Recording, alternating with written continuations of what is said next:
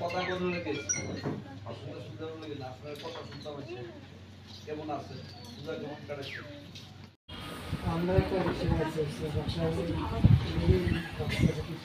কতটা সন্তুষ্ট আপনাদের কাছে কি উপলব্ধি করছেন? না আমি এ পর্যন্ত যেই পাঁচটা পঞ্চায়েতে গেলাম সবাই খুব খুশি। এমন কোনো ব্যক্তি নেই সরকারি সুযোগ সুবিধা পায়নি।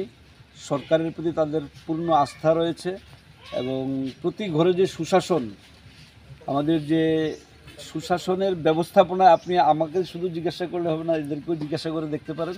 তারা খুব খুশি। আগামী